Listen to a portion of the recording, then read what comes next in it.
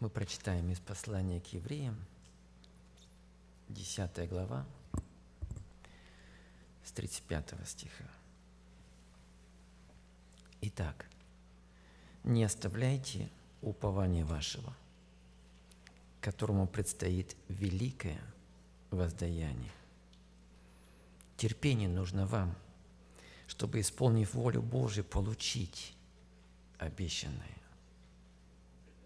Ибо еще немного, очень немного, и грядущий придет и не умедлит. Праведный верою жив будет.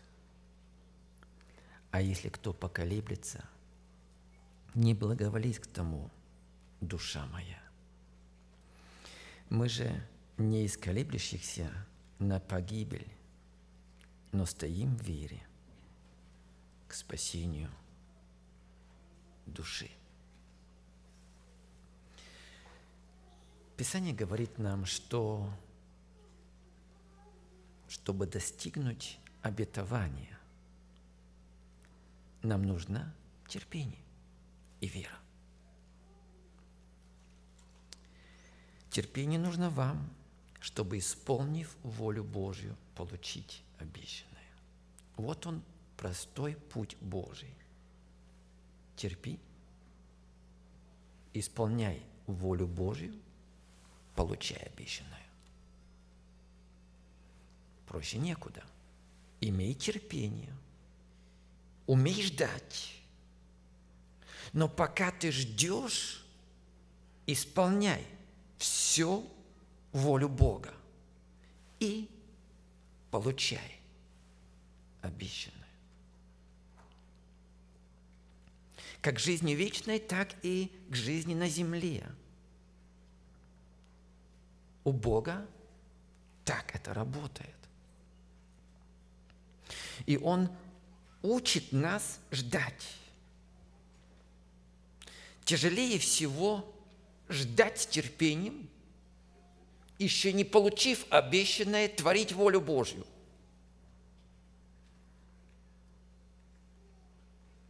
И мы спрашиваем, Господи, когда? Как долго? Я старею. Ты вечен. У тебя много времени, у меня мало. Господи, сколько мне ждать? Я устаю. У меня нет сил. А Бог говорит, терпи, твори мою волю, получишь. Обещанный.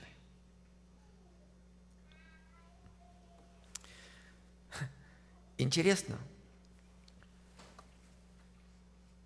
Аврааму Бог явился, ему было 75, когда он обещал ему сына. Сколько лет он сына ждал?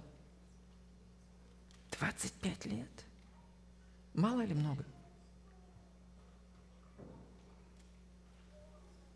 Двадцать пять лет, мне уже сто, Господи, мне скоро умирать. Где обетование? Сара говорит, давай Господу поможем. Он забыл про нас.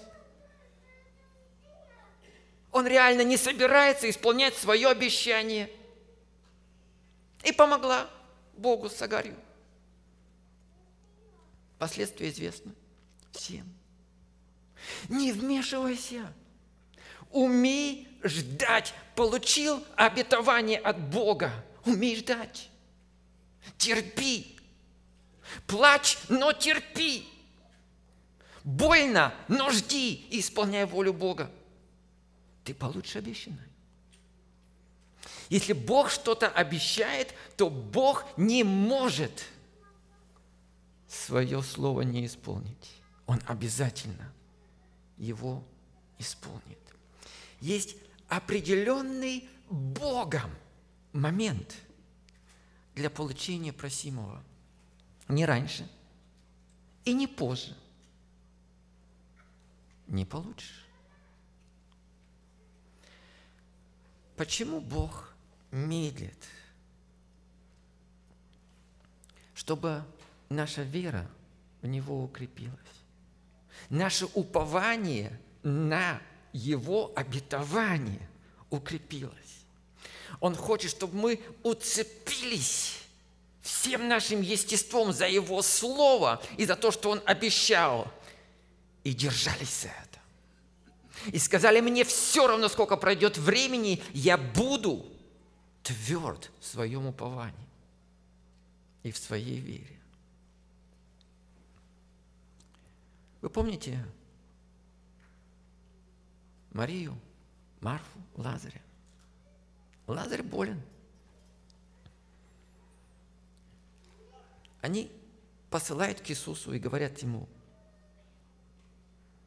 но тот, которого ты любишь, болен, друг твой.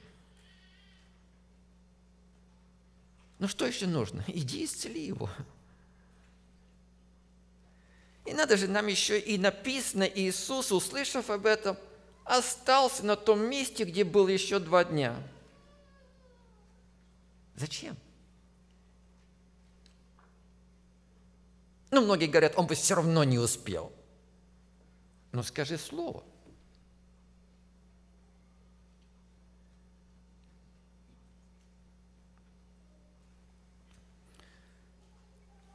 Иисус говорит ученикам открыто, Лазарь умер. Но я радуюсь за вас, что меня не было там. Подожди, подожди. Марфа, Мария в слезах. Там плач, там горе.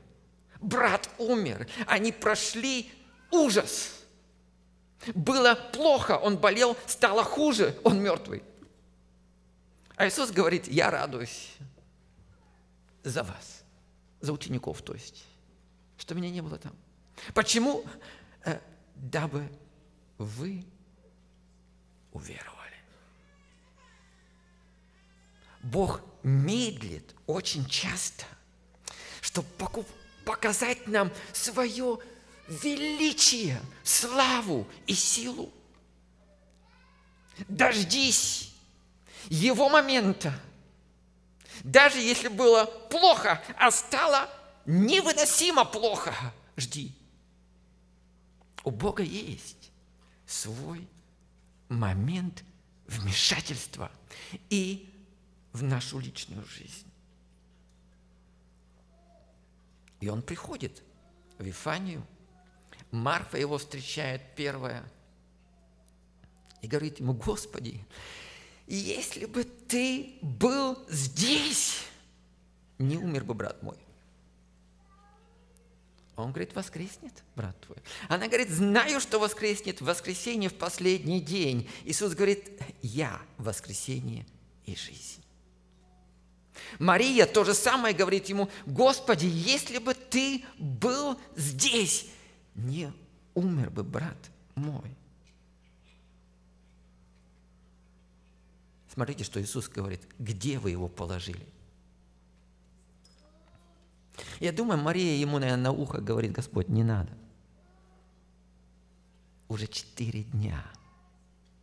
Там уже запах смертоносный. Давай не будем пробовать. И снова ответ Христа. Ответ Бога разочарованным людям – не сказал ли я тебе, если ты будешь веровать, ты увидишь что? Славу Божию!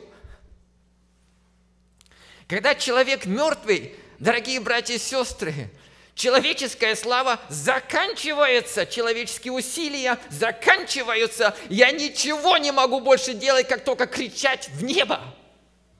Здесь только Бог может вмешаться, и только Ему одному будет слава.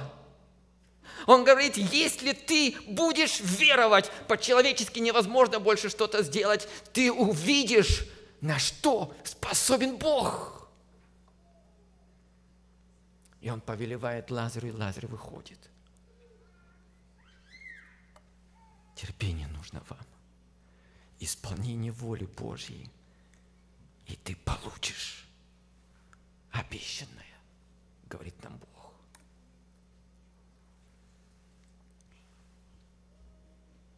во Христе и да, и аминь.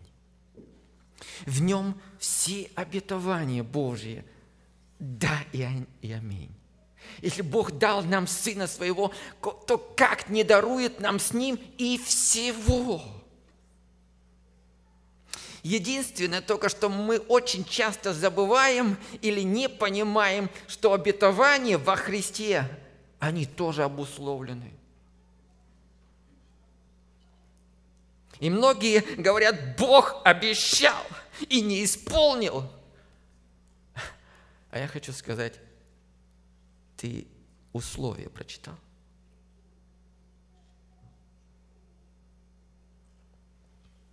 Вот представьте себе, дети маленькие. И я им говорю, детки, после собрания мы пойдем в Деры Квин, если будете себя хорошо вести. Они на ушах стоят.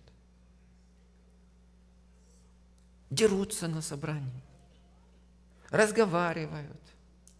Собрание заканчивается, они подлетают папа, мы поедем в Дерри Куин. Я говорю, нет, мы не поедем. Папа, ты обещал. Я обещал, да, но с условием. Папа, ты обещал. Я обещал, да, но с условием. Какое было условие? Если будете себя хорошо вести. И мы как дети – мы ревем, мы плачем и не понимаем, что терпение нужно вам и нужно исполнить волю Бога. И тогда ты получишь обещанное. Терпеть и не исполнять волю Бога не помогает. Нужно и то, и другое. Смотрите, что Христос сказал. «И прочитайте все обетования, которые нам даны. Они в принципе обусловлены. Если прибудете во мне, и слова мои в вас прибудут, то чего не пожелаете, просите, и будет вам». Вы слышите? Вы сердцем слышите? Если прибудете во мне, говорит Иисус, и слова мои в вас прибудут, то есть вы живете по моему слову, вы плодоносите, вы принесете реальный плод веры, тогда просите. Когда у нас с вами вот такие отношения будут близкие, просите, чего пожелаете, Это обетование Христа. Но оно обусловлено. Мы учимся полагаться всецело на обетование. Мы учимся исполнять Его волю. Мы учимся не колебаться и стоять в вере, не отступать, ссылаясь на заслуги Христа. Да, мы апеллируем к Его обещаниям, но все обещания Бога обусловлены. Вера побеждает. Праведный верою жив будет. И речь идет не только о спасении. Да, мы спасаемся и оправдываемся только верою, не делами. Так написано. Но и в течение жизни нам нужна вера, чтобы жить богоугодной жизнью. Потому что без веры Богу угодить невозможно. Он ждет от нас веры в Него. Человек с верой позволяет невидимым реальностям духовного мира управлять своей жизнью. И он становится эффективным в Царстве Бога. Там нет места унынию. Там нет места депрессии если у нас живая вера с Богом. Друзья, есть ли у нас эта вера? Или нет? Не просто вера, что Бог существует, а полное доверие Ему. вера, сильная вера, она формируется или живет в определенном роде людей только. И многие люди никогда не достигают этой веры. Почему? Потому что они не готовы платить за нее. Вспомним Давида. Он посещает своих братьев на войне. Трое его старших братьев пошли на войну с филистимлянами. Он восьмой. В армии призывало, призывались 20 лет. То есть, значит, старшим было 20 и выше. Если он восьмой, посчитайте, сколько ему было лет. Когда он пришел к армии посетить своих братьев. Но я думаю, я не знаю, 16, может быть, лет. Молодой. Молодой. И он видит Голиафа, видит, как он выходит, поносит все, всю армию израильскую, поносит Бога. И все солдаты боятся. А ему говорят, ты знаешь, что царь обещал – что он обещал? Свою дочь в жены дать. Серьезно. И ни один солдат не хочет рисковать жизнью. Давид, а Давиду это нравится. А, а еще что он обещал? А еще он обещал освободить тебя от налогов в Пенсильвании. У, от налогов освободить? Да твоя семья будет освобождена от налогов, ничего платить не нужно. Вот это здорово. Стоит, может, попробовать или нет?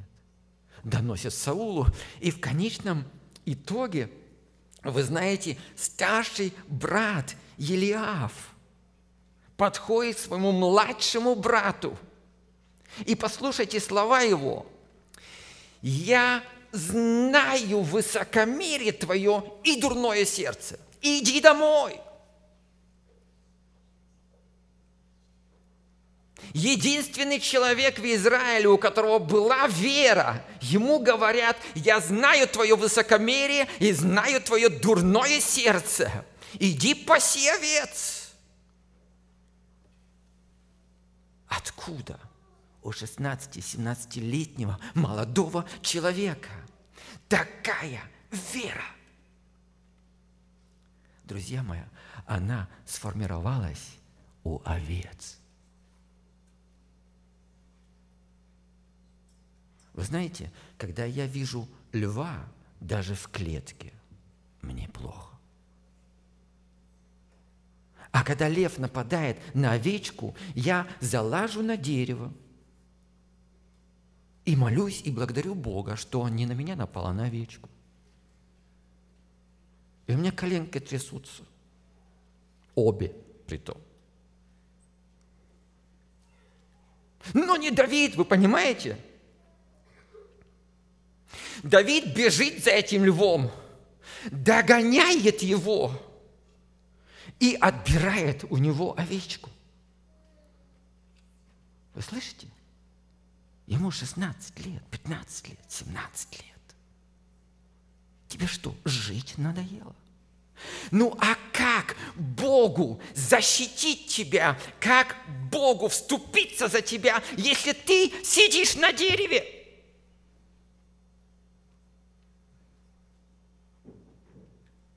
Ты молишься и благодаришь, и боишься шаг сделать, шаг веры. Поэтому библейская вера есть только у отчаянных людей, которые готовы умирать за свою веру. Ежедневно Давид подвергался смерти и был готов ежедневно умирать. Он подвергался риску. И когда медведь приходил, он делал то же самое. Все местные львы знали, что это стадо овец нельзя трогать. Там пастух ненормальный.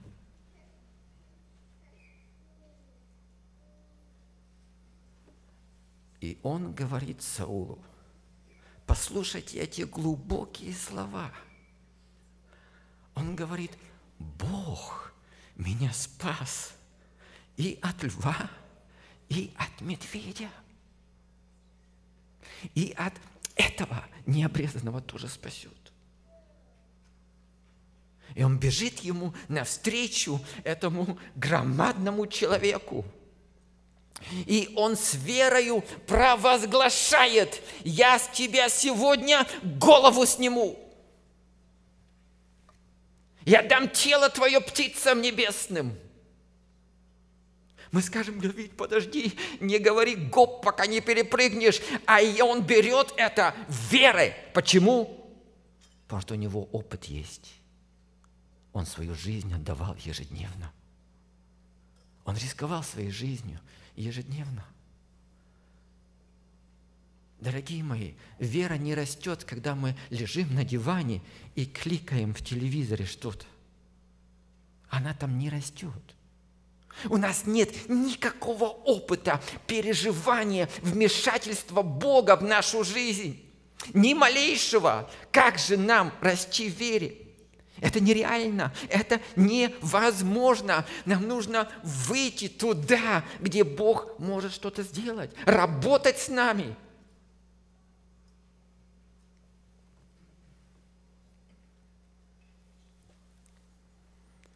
Апостол Павел говорит, но сами в себе мы имели приговор к смерти для того, чтобы надеяться не на самих себя, но на Бога, воскрешающего мертвых.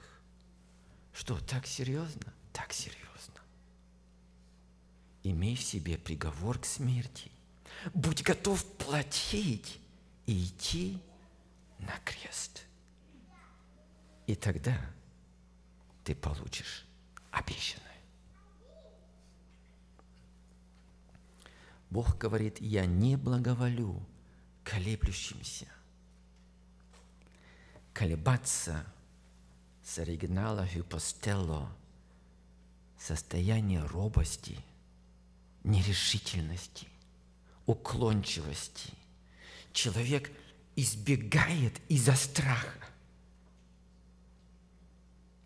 Бог говорит, с такими людьми ничего не могу начать вообще.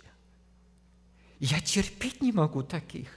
Не благоволит душа моя вот к таким робким, убегающим и колеблющимся. Я ищу людей, которые все цело, полностью, сто процентов могут положиться на мое обетование без колебаний. Поэтому он призывает Иисуса Навина, будь тверд и мужествен – ты народу сему передашь во владение землю. Обетование Бога. Схватись за него. Будь тверд и мужествен. Не надо колебаться. Я доведу тебя до туда. Седьмой стих той же главы 1 Иисус Навин. Только будь тверд и очень мужествен. И тщательно храни и исполняй закон. Девятый стих той же главы. «Вот я повелеваю тебе, будь тверд и мужествен, не страшись, не ужасайся, ибо с тобою Господь, Бог твой, везде, куда не пойдешь». Ухватись за это обетование – 18 стих той же главы. «Всякий, кто воспротивится повелению Твоему и не послушает слов Твоих во всем, будет предан смерти, только будь тверд и мужествен». Богу нужны вот такие люди. Вы помните Гедеона? Бог ему явился, знамение показал – где он собрал армию. 32 тысячи аж. Мы не знаем величину армии там мадьянитян. Но там много было, сотни-две, наверное, тысяч. Ну, много их было. И вот 32 тысячи против двух сотен тысяч. И Бог посмотрел на армию Израиля и говорит Гедеону, не могу я предать армию мадитян в ваши руки. Объяви всему народу, что объявить. Провозгласи вслух народа и скажи, кто боязлив и робок, пусть возвратится домой. Вы слышите? Бог говорит, с этими людьми не хочу даже начинать. Они все равно побегут, как только война начнется. И все хуже сделают. 32 тысячи было. Как вы думаете, сколько ушло? Два-три человека? Кто был боязлив и робок? Ну, наверное, процента два, да? Израильтяне, они сильные мужчины были. Ага. 22 тысячи. Больше двух третьих ушло. Они не верили ни Богу, и не могли ухватиться за его обетование. И Бог снова говорит Гедеону, еще многовато. Десять тысяч вас не могу. Почему? Потому что вы скажете, мы сами победили. Мы знаем всю историю, когда осталось 300 человек, наконец-то Бог говорит, окей, теперь слава будет мне, не вам. Теперь вы не сможете сказать, что это вы. Вы поклонитесь мне. Когда есть хоть малейшая слава человеку, Бог не участвует там. Там нет Бога. Бог есть там, где славы человеческой нет. И это принцип.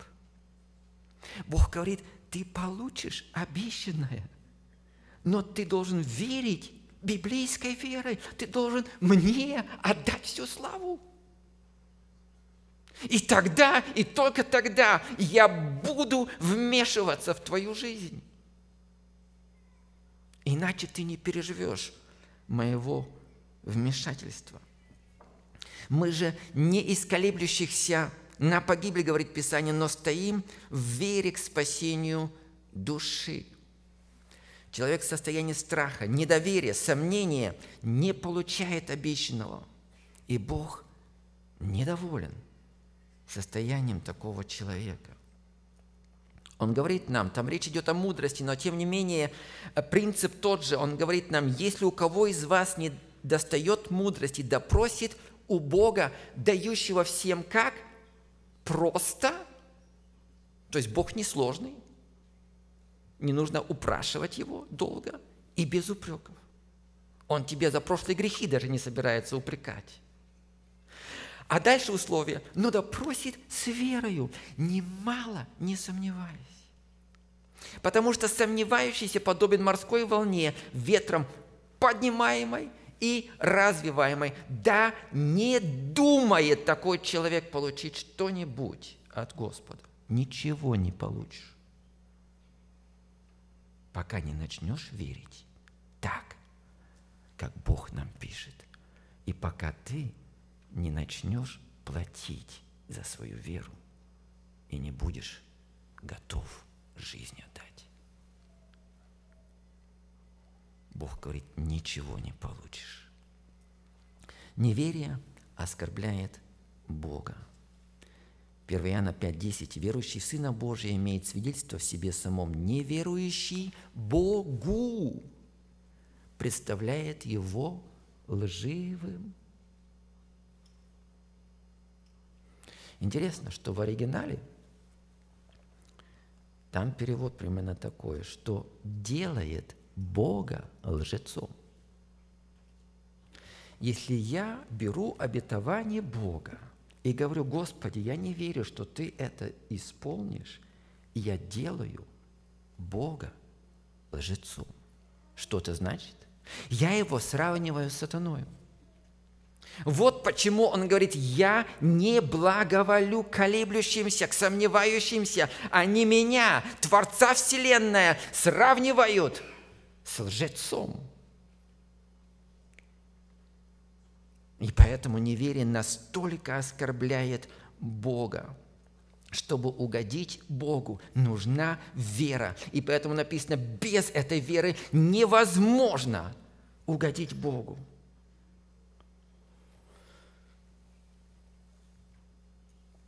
Иисус как-то сказал, придя, найду ли веру на земле. Луки 18 глава. Друзья мои, люди верующие будут. Будет ли вера библейская? Будут ли эти мужи и женщины веры? Или их не будет больше? Апостолы как-то сказали Иисусу, умножь в нас веру вот у нас столько веры, ты ее на два умножь, у нас будет больше. А как это сделать? Сверхъестественным образом? Нет, дорогие мои, это мои личные отношения с Богом. Это я пребываю в Нем, Его Слово во мне, мое хождение в Иисусе Христе. Я прошу то, что Ему угодно, Бог дает мне, моя вера растет. Не иначе. Помните, Иисус сошел с горы, где Он преобразился перед учениками своими, а здесь толпа Его ждет. Ученики, которые не были на горе, бегут к Нему и говорят, Господи, вот ребенок бесноватый, мы не могли ничего сделать с ним. Отец здесь же, если можешь, помоги. Ребенок мой беснуется. Иисус же, отвечая, сказал, «О род неверный и развращенный, доколе буду с вами, доколе буду терпеть вас». Скажите, почему такие сильные, строгие слова? И он сказал, приведите его ко мне, ребенка то есть. И запретил ему Иисус, и бес вышел из него, и отрок исцелился в тот час. Тогда ученики, приступив к Иисусу наедине, сказали, почему мы не могли изгнать его? Ответ был простой. По неверию вашему. Ты не веришь. Ты не можешь довериться Богу. Не можешь ничего сделать. Род неверный. Он назвал так своих учеников. Что значит род неверный? Это поколение без веры. А пистос, пистис – это вера, а – это без. Вы без веры, вы поколение без веры. То есть Иисус этим грубым рыбакам говорит, вы, ребята, без веры. А что нам сегодня говорить? Где наша вера? Они говорят, почему мы не могли изгнать? Он говорит, потому что вы без веры.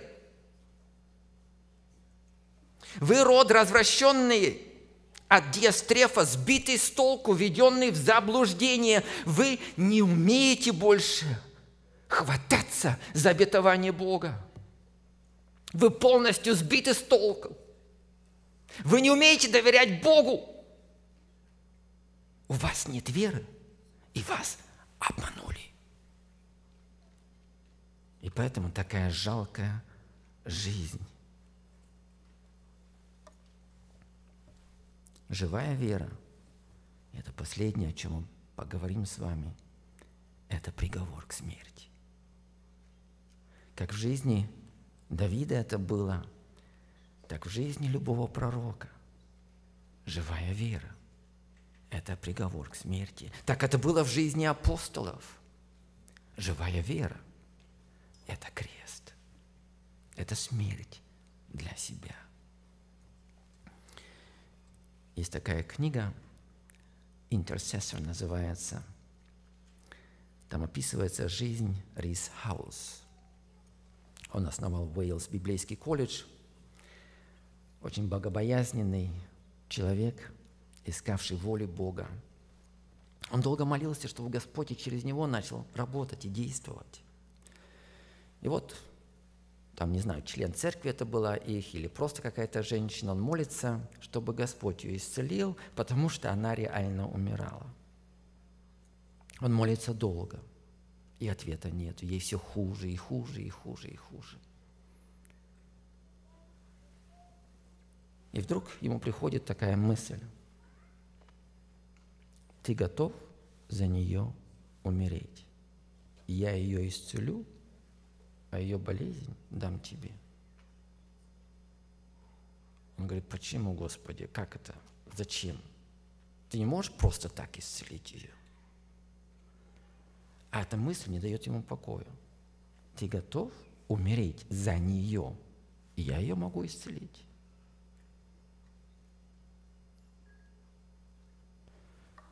И он говорит, определенный духовный закон открылся мне. Пока я не готов умирать, вера моя расти тоже не может. И когда он наконец-то согласился умереть за нее, Господь достиг своего воспитательного урока – в его сердце, и Господь начал работать в нем могущественно. Дорогие мои, что сделал Иисус? Он взял на себя наши немощи и понес наши болезни. Мы думали, что Он был поражаем, наказуем и уничижен Богом, но ранами Его мы исцелились. Вы слышите? Он взял на себя наши немощи и болезни и готов был идти на крест. Вот почему Иисус назван начальником и совершителем веры. Он у истоков, он в начале веры стоит, и он совершитель. С греческого это человек, доведший веру до совершенства – все слова Иисуса Христа без исключения были исполнены. Он мог разговаривать с неодушевленной природой, и все его слышали. И все повиновались. Почему? Потому что он шел на крест. Дорогие мои, без креста нет веры без смерти для себя нет веры. А Бог не благоволит колеблющимся. Поэтому нам еще раз написано. Итак, не оставляйте упование вашего, которому предстоит великое воздаяние. Бог вознаградит тебя за твое упование. Терпение теперь тебе нужно. Исполняй волю Бога и ты получишь обещанное. Праведный верою жив будет. А если кто поколеблется, не благоволит к тому душа моя. Мы же, говорит апостол, не из колеблющихся на погибель, но стоим в вере к спасению души. Мы стоим в вере, потому что взираем на начальника и совершителя веры, Иисуса, который вместо прилежавшей ему радости – претерпел крест, пренебрегши посрамление, и восел одесную Бога. Пусть ему будет слава за все. Аминь. Помолимся.